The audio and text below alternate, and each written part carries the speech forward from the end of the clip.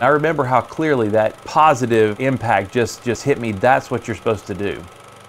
This vision is much bigger than I am. But I have told God with my life that wherever you lead me, I'll follow.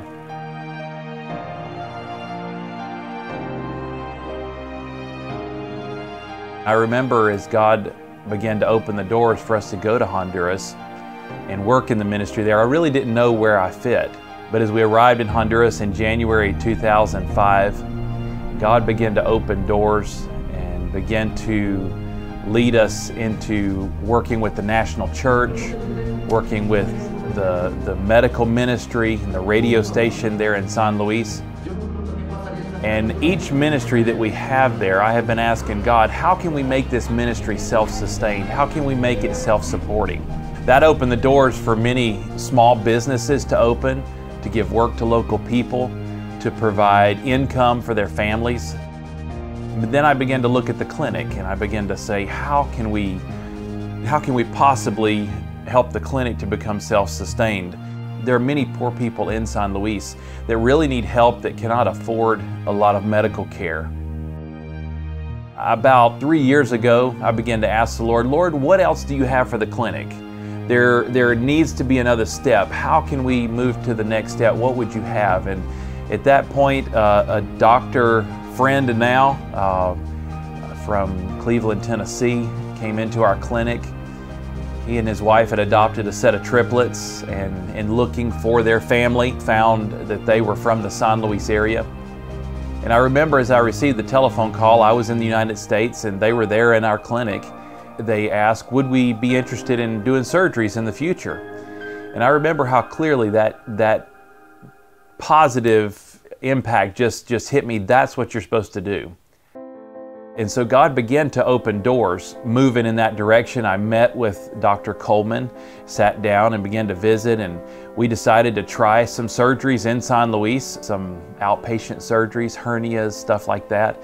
And the need that was there in that community for stuff like that was absolutely huge. It also provided some form of income to help balance out some of what we have in the clinic because many times in the clinic itself we have emergencies. Sometimes there are people that cannot afford to pay for that. One helps balance out the other because when someone comes in for surgery it's something that's planned. Now the costs are very insignificant but yet they still help pay the bills and pay the, the nurses and stuff that work there in the clinic. Many of you know my excitement about Honduras. I, I, love San Luis. I love the ministry that we have there. I'm passionate about it. I want to see it go forward. I want to see it self-sustained. I want to see it support itself. Um, and uh, that has been my passion through what we have been working through. It's been amazing to see how God has opened those doors one after another for us to go back. The other things that are amazing is how this has all come together. Our surgery center has been built. As we begin to build it, some of the supporters that, that helped build the surgery center begin to ask, what about a dental area? Where can we see dental patients? And okay, so if we do eye surgeries in San Luis, do you have a place that we can see the patients afterwards? Can we offer them glasses? Can we? There were a lot of questions that were there, and I realized that we not only needed the surgery center, but we also needed a medical center that could fill another need that is there in San Luis. There are doctors in San Luis many of them general medicine doctors. We lack a lot of specialties in San Luis. And so this began the wheel to turn in my brain of, of how we could change that. And so we started a second building that now we, we know is going to house a, a dental, dental center. It's going to house a laboratory. We're going to have an eye care center.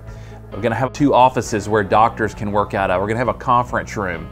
And uh, my dream with this is not just to bring people from the United States to San Luis to serve, but to meet doctors and uh, specialists in Honduras and invite them to come to San Luis and meet the needs of their own people, whether they come once a month or twice a month, to have pediatricians and OBGYN doctors and different people that can come and meet the needs of the people there in San Luis so that they don't have to travel to the city. This vision is much bigger than I am. I have really no experience, no background in doing this kind of thing. But I have told God with my life that wherever you lead me, I'll follow. He's opened many doors that I had to walk by faith. I had to trust Him with what He was leading me to do. This is another area as we pack up our family here in the United States. We have five boys. It's a big thing to pack up a family of seven and make a move like this. Packing has not been a fun thing, but we're trusting God to open the doors before us, to lead us in the path that He would want for us to go. My favorite scripture has always been and still is. Trust in the Lord with all your heart. Lean not to your own understanding. In all thy ways acknowledge him, and he shall direct thy path. And I trust very much that he is directing our path. I trust that he is going to lead us in the path that he wants us to go. That he'll lead me to the people that we need to build relationships with to come to San Luis and serve people there. Not only on the humanitarian side do we want to help people, but the joy of sitting down beside someone that is there to have surgery or there to have their baby or there in an emergency and share the gospel with those people, God opens doors wide open for us to be able to share the love of Christ.